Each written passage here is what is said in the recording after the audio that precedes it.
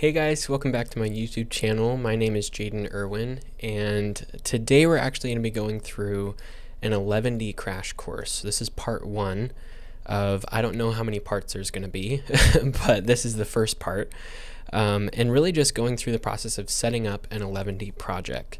If you haven't heard of 11ty, um, it is probably one of the biggest static site generators that's being used today. Um, I know there's a few other really popular ones like Jekyll and Hugo, but it seems like 11ty has kind of replaced those two um, in kind of the space that they live.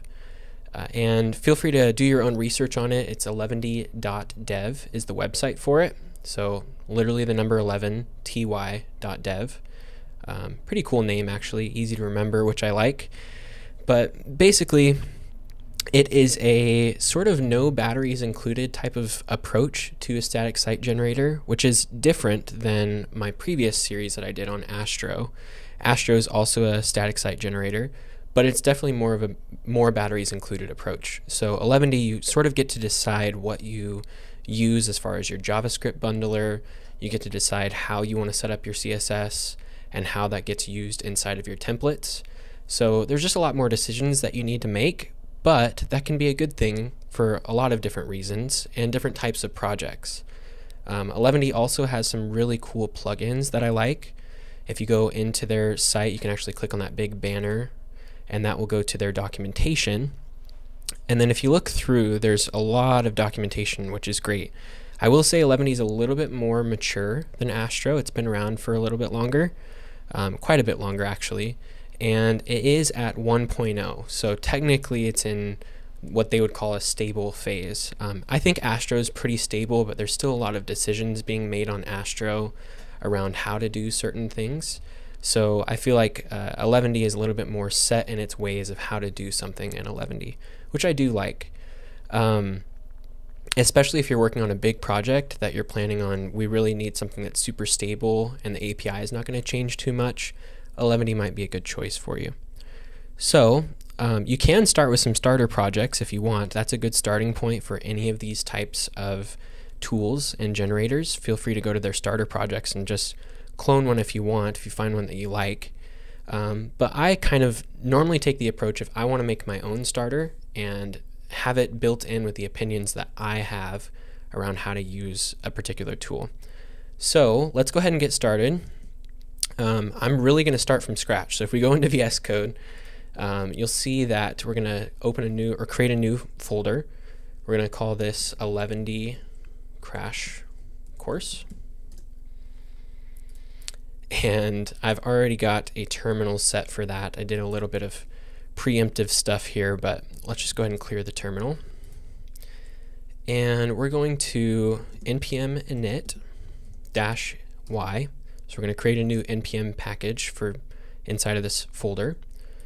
And if we refresh, I'm going to go ahead and kill the terminal real quick and bring it back. cd eleventy. Let's do that. npm. I think it's because I deleted the folder. Um, so let me just add it back real quick. There we go. Perfect. So we've got our package.json. So npm init dash y to just take the defaults, right? And then really to set up 11ty, there's not too much you need to do to get started, but there are going to be a lot of decisions that you have to make around styles and all of that. But to start and just get some HTML running, it's super simple. So let's go ahead and npm i dash d for development dependency. And we're going to do at 11d, 11ty. Let me make that text a little bit bigger too. Slash eleventy, spelled out. Perfect. That's going to install. It's a pretty small package, and it is on 1.0.0, I believe. So yeah, right there, 1.0.0. So they just hit 1.0 last year, late last year. Um, so exciting to see that they're out of the beta phase. And then what we're going to do is go in here. Let's create a new folder. This is a setup that I like you don't have to set up your 11ty project this way necessarily. Feel free to do your research on other setups. But I like to do a source directory. And then that is where I'm going to put my index.html file. So this is like your source directory where everything is going to live, right? And then on the base directory, we're going to do our dot eleventy .js file. So this is our config file for 11ty. This is where you get to make those decisions of how you want your 11ty structure for your project to work. And I'm just going to go ahead and do this module.exports. So this is where it's a little bit different. 11ty uses CJS or CommonJS for its imports and everything. So you do have to use uh, CJS for all of that. And I believe that's changing in the future. They'll have a little bit better support for more modern uh, imports, uh, ESM and all of that. But that's kind of how it is right now. So we're going to do eleventy config. Copilot's help, helping me out already. I don't want to do this piper though, so let's go ahead and escape that. And we're just going to close this export. So this is the function that holds or passes through our eleventy config. And I'm just going to go ahead and copy this return, mainly because it's got a few lines in it. But basically what's going on here is our directory, we're sort of overriding the default for 11ty. So 11ty likes to do a site folder as your site default, um, but I like to do this source folder. So input is src, our source. So that's our input. Our includes is going to be the underscore includes folder. And we can go ahead and create that. So we'll go into our source, create a directory of includes. Perfect. And then our output is underscore site. And I'm going to leave that because that is the default. Um, template formats. So this is one thing that is unique to 11ty is it supports a bunch of different template formats. You can use Markdown for your templating. You can use uh, something called Nunjucks, which is a unique, uh, it's been around for a while, but it's a templating language that is similar to Liquid if you have any background with Liquid, um, but it does allow for more JavaScript or just JavaScript in general in your templates. So it's like Liquid, but with logic inside of it. And then HTML also as our template format. So Markdown template engine, Nunjucks, HTML, Nunjucks, and data also Nunjucks. So I like to take this approach where, and this is actually a pretty recent thing from research of playing around with 11ty to do this course, but I actually realized that you can use Nunjucks templates inside of just a normal HTML file. And I'll show you how that works. So let's go ahead and just get started doing a normal document here and we'll get some code running. So let's go into our package JSON and we're actually going to add a start command. And let's just do npx eleventy dash dash serve as our start command. And this is going to serve our project and use 11ty to serve it, right? And then there's just our default HTML, right? Let's put an H1 on there just to make sure. We'll say I am the home page. We're going to do npm start.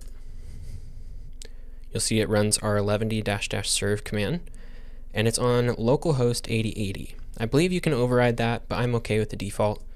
Let's just go ahead and open it. I am the home page. Perfect. And that is running just as you'd see. And if we add a paragraph here,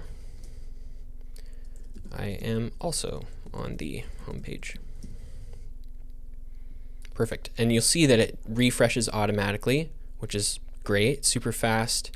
Um, 11ty is really lightweight in that way that it is fast as a good dev server and you really just have a lot of customization of how you want that to work. You can also set 11ty to just build your files to this underscore site. And then you could use another dev server if you wanted to. So it's pretty cool that 11ty does give you that much flexibility that you can use it just for the build step if you want, and then do all the dev server stuff with something else. It's that um, flexible and there's just a lot of options with it. So Let's go ahead and look through and you'll see that I'm actually going to take a very similar approach that I did with the Astro crash course on my also on my channel. Um, the Astro crash course, we sort of just started with this HTML template file or this HTML file and then work backwards from that. So how do we start to use some of the templating features of 11ty to be able to build a much larger site efficiently with 11ty? And that's really where this includes and the nunjucks templates come in. So we're going to go into this underscore includes and we're going to create a new directory called layouts. And I haven't really explained the includes yet because I think it's better to actually see how it works. So we're going to do layouts base.html inside of that layouts folder. And we kind of have that approach of like, I want to create another page, but if I want to create another page, I don't want to have to copy all of this to that contact page, right? So what we're going to do is actually copy all of this, take it to our base HTML, and then if you look at this like it's a template, you can sort of see the parts that you want to keep consistently for multiple pages, and then fill in the parts that you want the other pages to take control of. And usually that's the content, right? So we're going to cut that, put it back on our home page. Let's delete everything from that and just have our content there. And then our content falls right into the body tag, right? And then you're going to see I'm going to do these double curly brackets. That is a um, for nunjucks. So we're going to do content and then a pipe. And we're going to say safe. So we're saying anything that is content for whatever's using this template, this page layout, it is safe to pass in inside of this body. Perfect. And then title, same thing. We're going to replace this document and let's just use the title for the title, right? So let's save that. And you'll notice that if we go back, it's still showing it, but it's not using our template. Um, and that's because we're actually not setting the layout yet. And that is something that you need to do at the top. We're going to do these fences. So the three dashes at the top, sort of like a markdown file. And then I know this is an HTML file, but remember back in our .eleventy.js that we have our nunjucks is our HTML template language. So we can use nunjucks inside of HTML because of that. So we're just going to go here at the top, layout, colon, and we're going to do includes. Oh, sorry. Includes is not there. Uh, layouts. It comes from the includes base.html.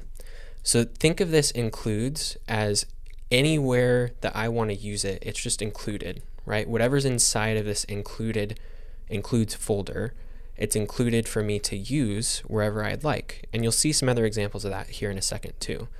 But let's just set our layout and we're going to set the title. Remember, we're passing the title into this base.html right here.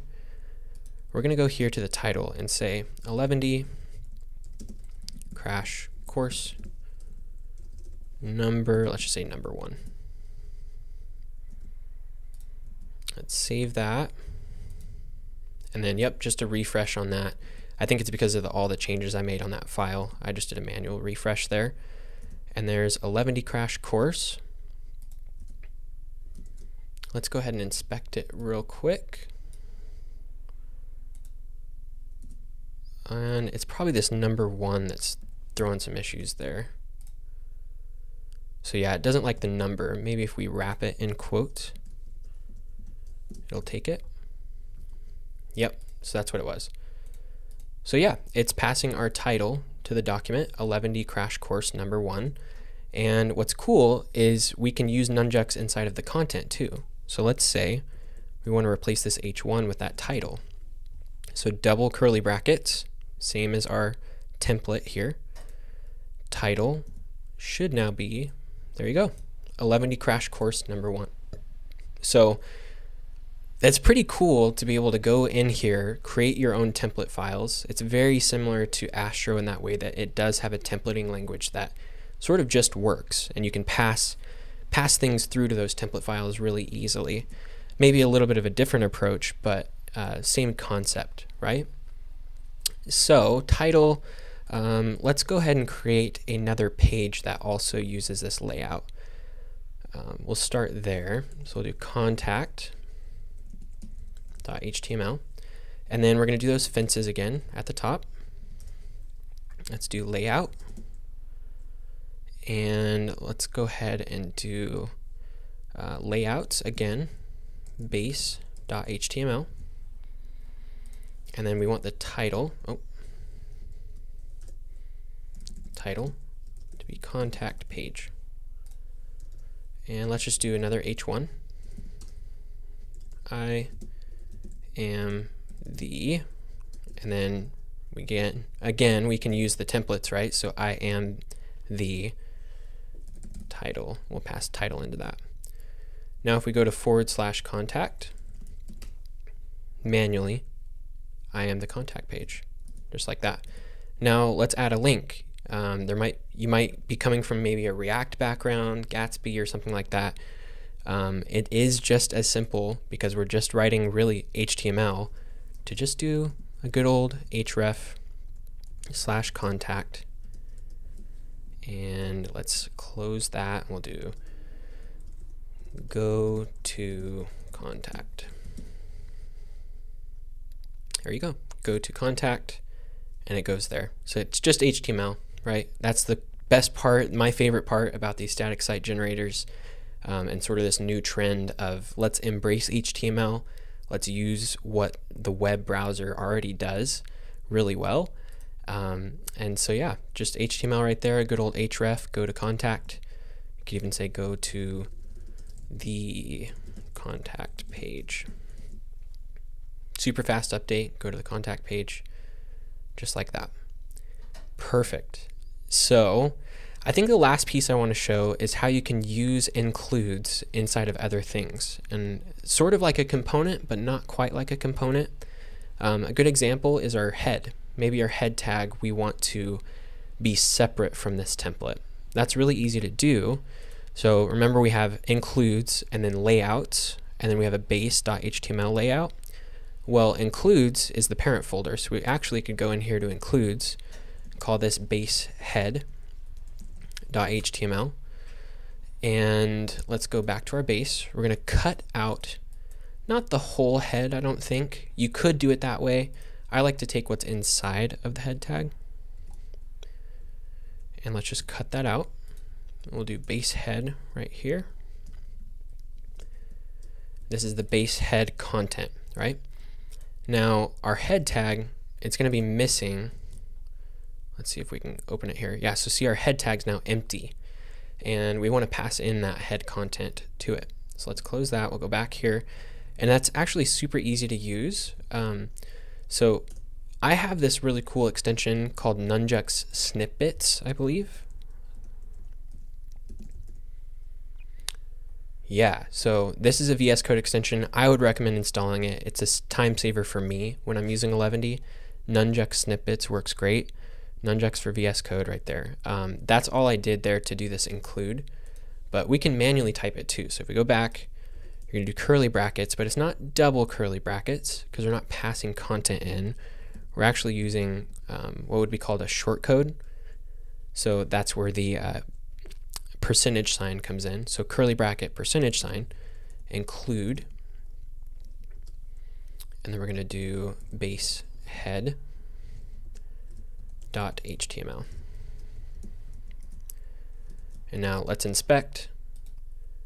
There you go. It's passing it through just like that. So basehead.html right there. We're including the basehead.html file or whatever's inside of that right here. So you can imagine how you could do that with a lot of different things, but really common ones would be like the header, right? So like above the body, maybe you want to do a header, and then that get, could get pretty big depending on what is inside of the header. So you could move it out into its own file and have it not really messy up your template or your layout. Um, so that's really cool. You know, we can do the include, but there's another really cool thing called blocks. Um, and maybe I'm getting a little bit ahead of myself, but this is a pretty cool feature of the Nunjucks templates. We can do a block, call it head, and then we can actually use this like layout and extend this layout. So let's say we want the contact page to use a different layout than this base layout. Um, you can actually go in here to layouts and we could call this contact .html. And instead of having to copy all of this again, maybe this just needs to extend the base layout. that's really easy to do. So you'd go to contact.html inside of the layouts, extends, and we're going to do extends layouts base.html. So same thing again, extends includes, those are kind of like hot words that you can use with Nunjucks templates. And then let's say we wanted the, uh, for example, like the contact page to have a little bit more inside of the head than just what's in this base head. Maybe we want it to have a description. Um, I would recommend putting your description on all of the pages, but this is just for example. So we have a block of head right here at the end of the head tag. So we can go into our contact.html, we can do another block called head, same name, and because it's extending the base.html layout, it just inherits it, right? So there's already a block called head, and because it's extending it, it's going to just extend right here, and I'll show you that. So let's go back here and let's do description um, name equals should be right there content let's close that meta tag and then in quotes here let's do those double curly brackets description so in this case the description should only show up on something using the contact layout. So let's test it. Let's go to our contact.html. Instead of using the base.html, let's use the, sorry if you hear my dog. So let's go ahead and test it. You'll see that we have contact.html as our layout now. And if we pass in a description, hey, I'm on and we probably should use quotes if we're going to do that. So, hey, I'm on the contact page only. So this is really powerful because you're able to use a base layout and then only have parts of it on other layouts, right? Um, so let's test it. We'll go to our contact page. Let's go here to our head tag and look at that. There's our meta description being passed in right there. So only the contact page has the description. If we go back,